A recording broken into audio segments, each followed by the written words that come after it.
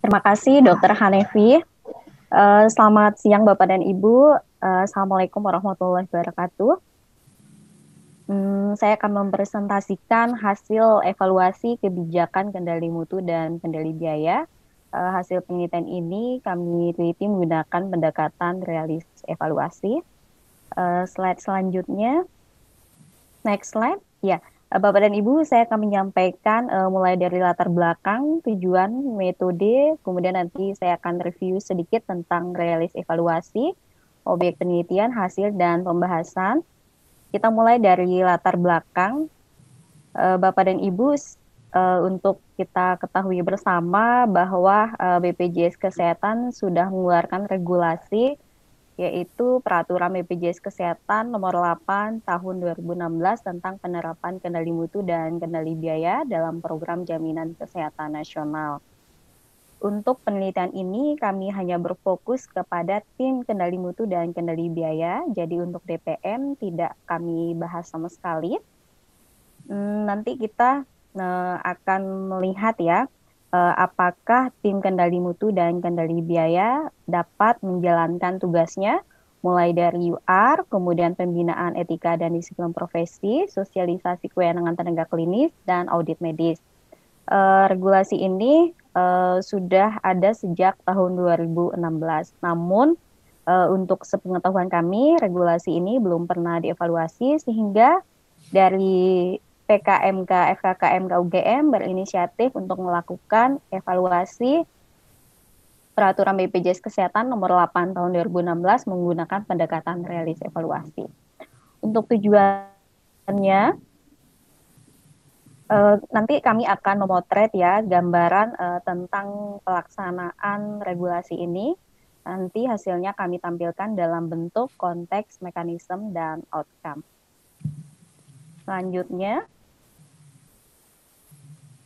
untuk metode, uh, kami sudah melakukan penelitian ini sebenarnya di 13 provinsi, namun karena ada keterbatasan uh, tentang pengambilan data. Jadi data yang bisa kami olah hanya di DIY, Jawa Tengah, Kalimantan Timur, Sumatera Barat, Sulawesi Selatan, dan Bengkulu. Untuk pengumpulan datanya uh, kami lakukan melalui wawancara mendalam kepada tim kendali mutu dan kendali biaya di tingkat Paskes atau TKMKB teknis, kemudian TKMKB tingkat cabang, tingkat pusat, serta BPJS Kesehatan.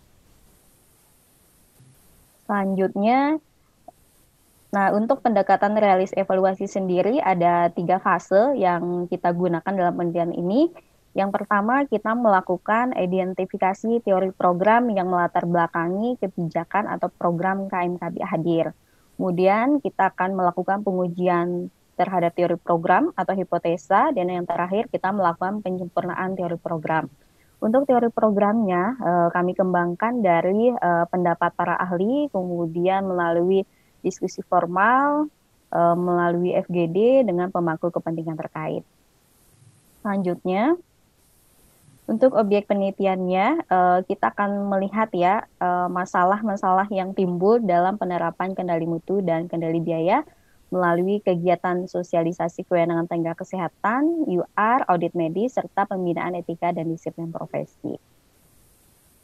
Selanjutnya, untuk hasil penelitian secara umum, eh, dari empat kegiatan KMKB secara keseluruhan eh, berjalan di keenam provinsi namun uh, ada ya uh, rumah sakit di Provinsi Jawa Tengah yang audit medisnya tidak berjalan. Hal ini terjadi karena tidak diberikan wewenang oleh pihak manajemen. Kemudian untuk penelaksanaan UR uh, sebetulnya sudah berjalan dalam proses kegiatan kendali mutu dan kendali biaya. Namun proses UR ini belum sepenuhnya mandiri dilakukan oleh TKMKB karena ada keterbatasan dalam skill mengolah data dan uh, akses data. Uh, saya akan menjelaskan lebih detail untuk hasil penelitian ini. Yang oke, okay.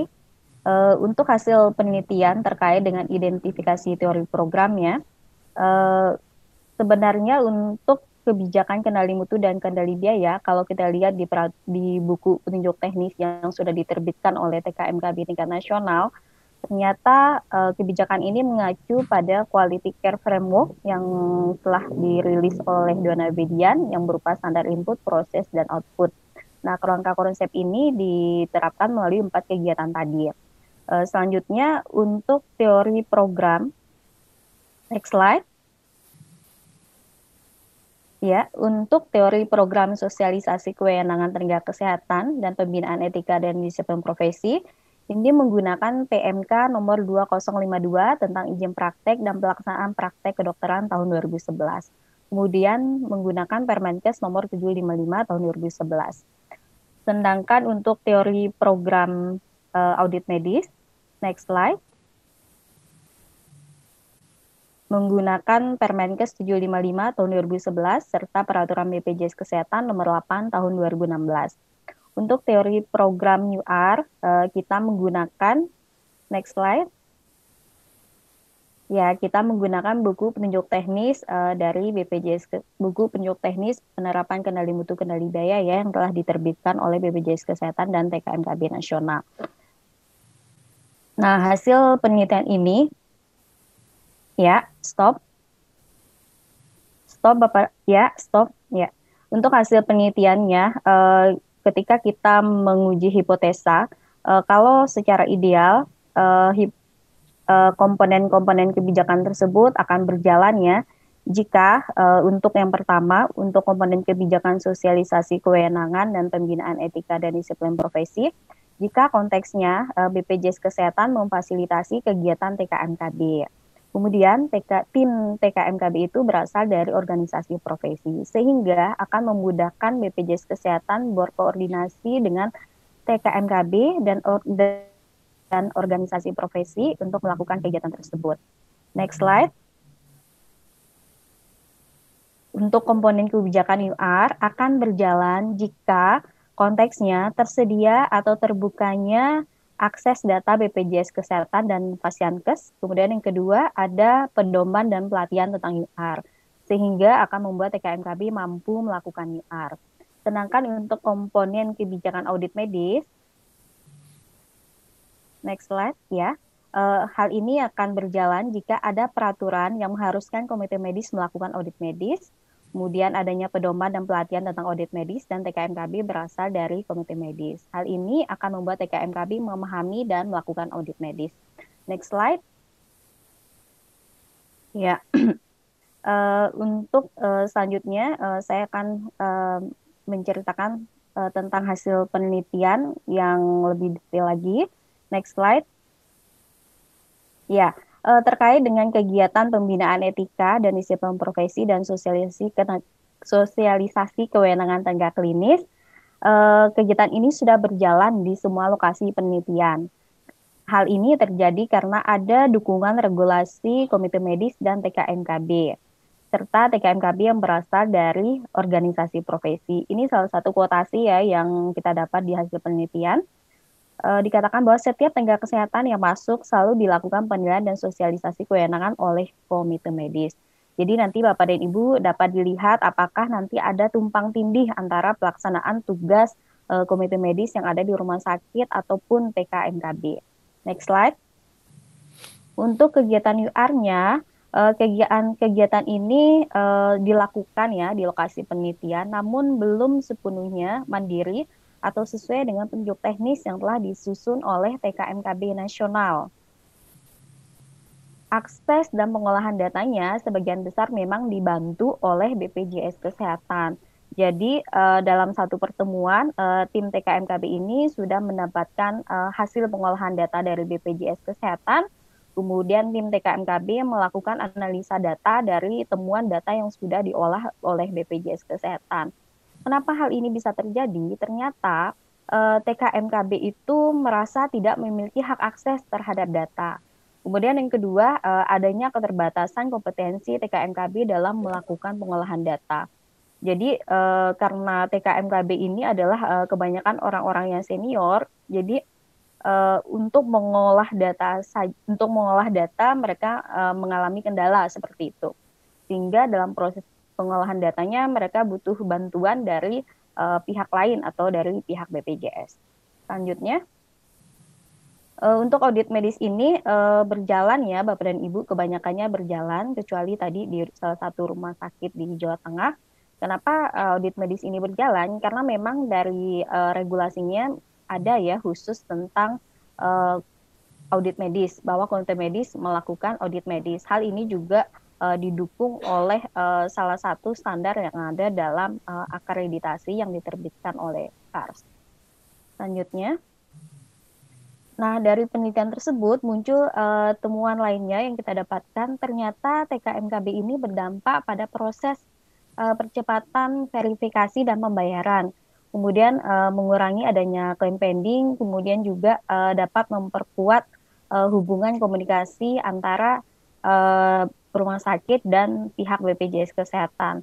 Uh, selain itu, uh, ternyata dengan adanya TKMKB ini hmm, kemarin kita lebih uh, spesifik melihat ya, ternyata TKMKB ini fokus dalam melakukan kendali mutu. Seperti yang salah satu kuotasi yang telah disebutkan bahwa dokter tidak berkenan untuk diganti plakat yang biasa. Ya, kendali mutu cuma kendali biayanya belum bisa dikendalikan.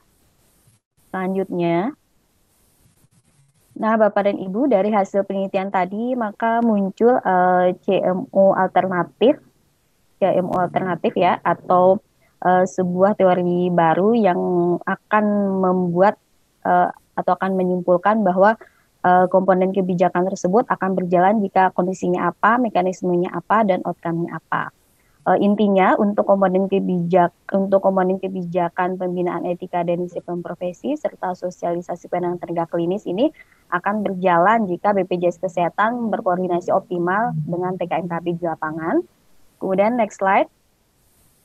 Uh, sedangkan untuk next slide lagi. Ya, sedangkan untuk proses UR-nya akan berjalan uh, jika um,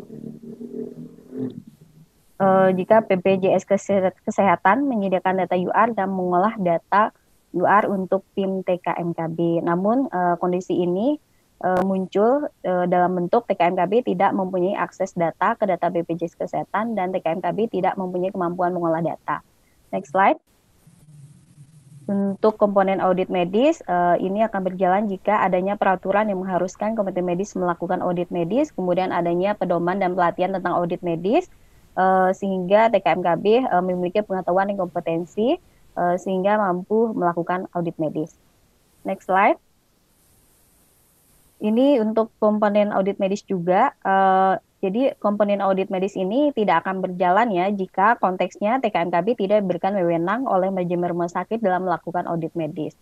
Sehingga TKMKB internal rumah sakit merasa tidak dapat melakukan audit medis. Selanjutnya, Uh, dari hasil tadi uh, saya ada pembahasan sedikit ya Bapak dan Ibu terkait dengan akses data uh, yang mungkin saat ini uh, masih ada keterbatasan uh, yang didapat oleh TKMKB di mana ternyata akses data ini sangat penting sekali Bapak dan Ibu uh, dalam uh, memonitoring keberhasilan UHC. Nah, untuk akses data ini uh, sekitar empat tahun yang lalu ya, kalau tidak salah, mau nanti saya diluruskan. Jadi uh, eh, PKMK pernah kerjasama juga dengan BPJS Kesehatan untuk uh, membuat uh, semacam website untuk melakukan pengukuran analisa dan penyusunan rencana tindak lanjut indikator. Mungkin nanti website ini akan bisa kita gunakan dalam mengolah data UR. Kemudian uh, untuk UR sendiri, kemudian audit medis ataupun empat kegiatan TKMKB tadi ternyata memang berfungsi untuk melakukan kendali mutu. Next slide. Nah, Bapak dan Ibu, untuk indikator UR yang ada di dalam buku petunjuk teknis, eh, ini sebenarnya masih banyak ke arah kendali biaya. Untuk kendali mutunya belum banyak. Kemudian dari hasil penelitian tadi dapat kita simpulkan bahwa ada tumpang tindih tanggung jawab ya untuk pelaksanaan sosialisasi pembinaan etika dan disiplin profesi antara TKMKB dan organisasi profesi atau kompeten medis ataupun organisasi perawatan. Nah, padahal menurut WMA menyebutkan bahwa otonomi profesional merupakan faktor penting dalam memberikan pelayanan yang berkualitas tinggi. Baik, Bapak dan Ibu, terima kasih.